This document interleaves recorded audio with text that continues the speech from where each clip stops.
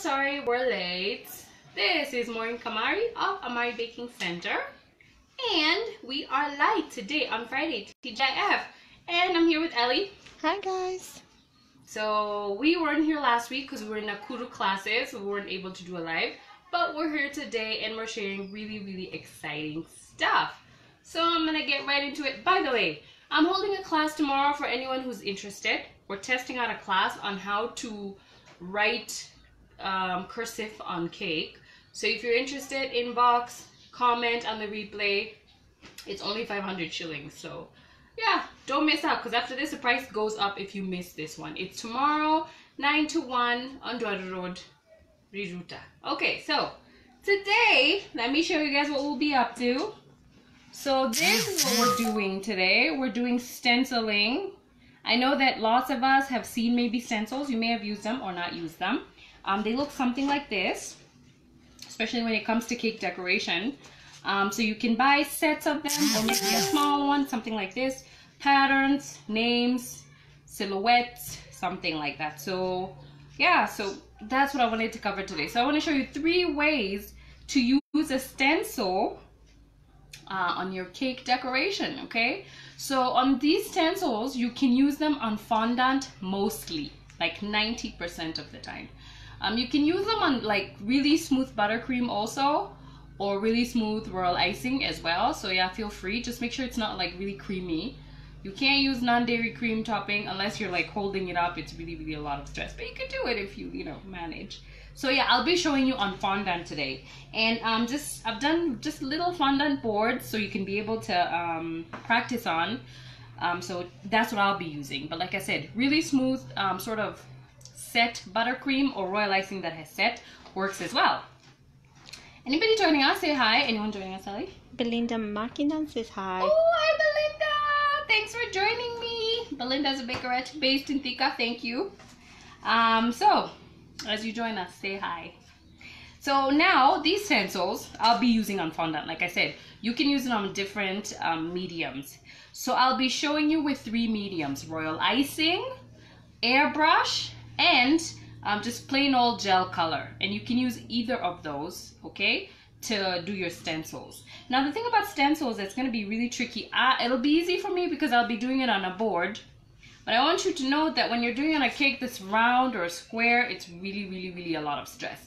So one of the tips or tricks you want to learn if you're using um, royal icing or you're using the color, you want this to really stick on your cake. Okay, like really, really stick on your cake like this completely. So sometimes you can take like some shortening or some margarine and you apply like a thin layer on your cake and then you put this. It'll really stick okay? The other thing to make sure is you to know there's like little holes over here. You can see them. These little holes are what are gonna hold your stencil in place. So if you've maybe taken it around the cake you can use a pin right, to hold that in place. Or maybe you can use what can we use? Maybe like masking tape but if there's oil on that cake just let me just let me tell you people it won't be so easy. So pin usually works okay? Or masking tape. I've actually used masking tape before.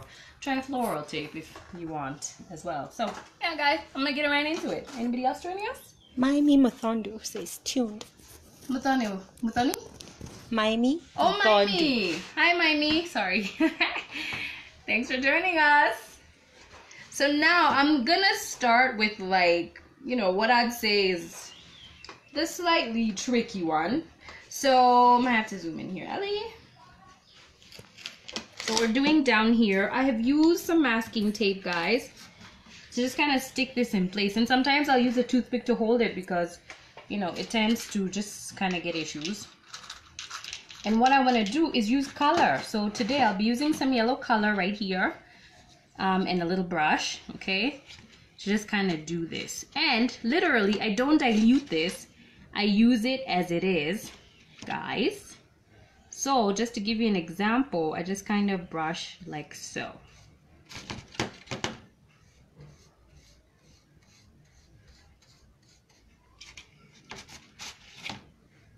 So just brush you want to make sure your stencil it's like stenciling for real if there's any of you who do stenciling you really don't want your stencil or your frame thing or your design thing to move a lot. Because if it moves, you know, you won't get the shape you're looking for or the pattern you're looking for. So I'm just gonna do the rose part and I know this is just hilarious because I'm doing a rose in yellow. But that's how we gonna do this today. Yellow rose. Okay. See how much we can get there. So just get most of what you can get. Hold it down if you need to. And alright, so I think that I've gotten most of the rose I can now take it out so you guys can see how it looks like. And voila, there we go. There's our rose. Woohoo! Check it out. I hope you guys can see it. I know that's a yellow, which is a bit odd. But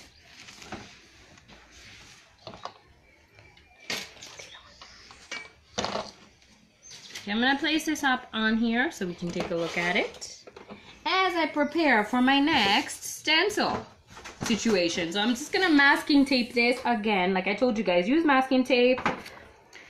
Use a pin if you're on a cake to just kind of stick everything in place, okay? So I'm doing a patterned one this time to something, you know, different. Like that. So like I said, guys, pin the stencil on your cake. If you're not airbrushing, you can apply some uh, shortening on there and then just kind of straighten it so you make sure it's like really, really stuck, right? So that it doesn't move around. So make sure it's real, real, real nice and stuck. Okay, so I'm just making sure this is taut, it doesn't move around. It's moving around a little bit, so here we go. Okay, so when I start, I will not move it. Now I'm gonna show you how to do this with royal icing. So I have some orange orange royal icing up in here. And once I'm confident like now, I'm just gonna apply my royal icing everywhere. Okay, hope this works. Now you take a scraper and remove excess. Scrape again. Okay, so try and get as excess as possible. Okay, most of it to get out of there. Now we're going to give it a minute to set a little bit and then we'll take it off from there. Alright, let me see if I can add a little bit. I don't like how it looks like over here. And scrape. By the way, be careful. There's parts that come out like this one right here. If you're not careful of your stencil, it'll come off. So I'm gonna leave that for a second as I show you this last one so you can set just a little bit. Now you can make your own stencils if you do not have a stencil. So I'm just gonna show you one with airbrush that we have made, okay? So we were trying to do the Amari name right here. Let's hope this comes out nicely. So I'm gonna do this stencil on here, okay? So I think we'll move it closer to you guys over here. And I'm going to load an airbrush. So let me first show you guys the whole airbrush thing. For you guys who may not know how to use one or may want to know, maybe Ellie can zoom in on the airbrush. So this is the airbrush. It usually comes with like the thing to plug in, the power, a pump, a pipe, and then this pen, okay? So this is the magical part. So this is PME, but you can get others. There's many others. You can get them from TopServe. And so this little area here is where you put your ink. And so you buy airbrush ink, shake it up a little bit. Sometimes it tends to settle. And then you put your airbrush liquid in there, like so. And then you close this back up. So I have a really faded shiny one. It's the one that kind of gives you a pearl luster, but it works as well. It still does it. So we're gonna do that. We're gonna try with the dots first actually. So all you do, you pull this lever back and forth right? So the more you pull it back, the more it sprays. So you want to keep it in the middle, don't spray so much. And then you put on your airbrush and you're ready to go, okay? So I'm gonna do that right now. So should I do it on this, up here? All right, so I'm gonna place this so you guys can see better here. Let's start with the dots. I'm gonna put this on. It makes that noise. Sometimes I use a toothpick like this to hold this here. Okay, so I'm just gonna spray.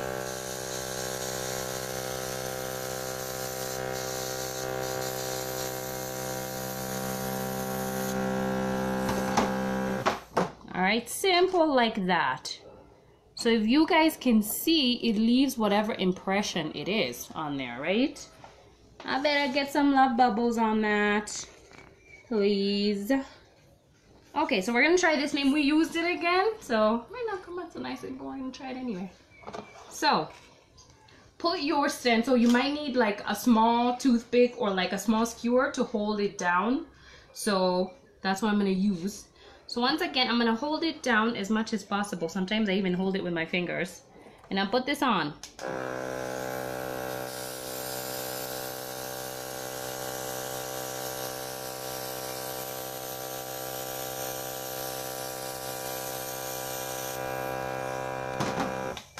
Okay, so there we go.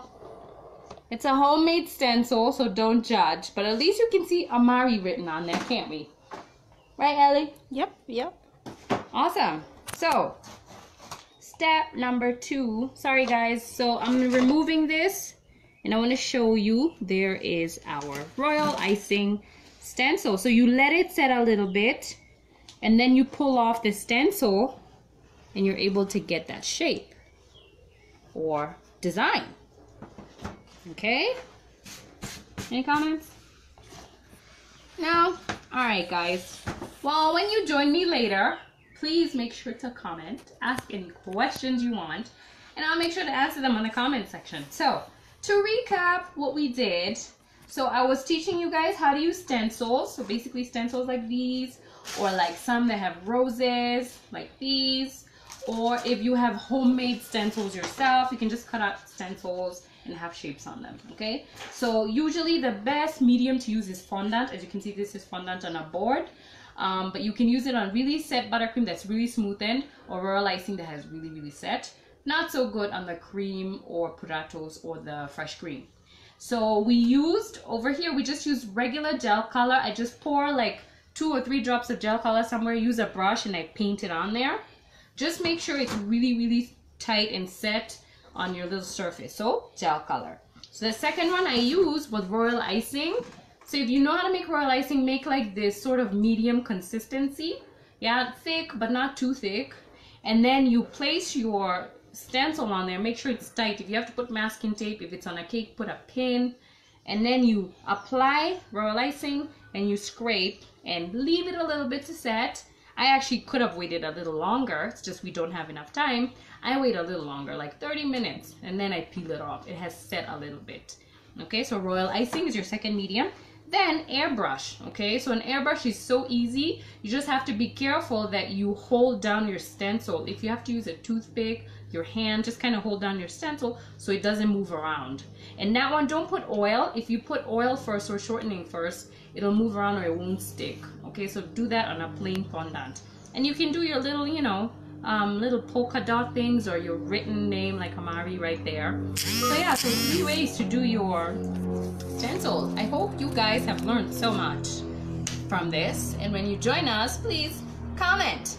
If you're interested in the class I was talking about, about piping and writing calligraphy and like cursive, I'm doing it tomorrow. 500 shillings. Inbox me. See you guys. TGIF. Bye.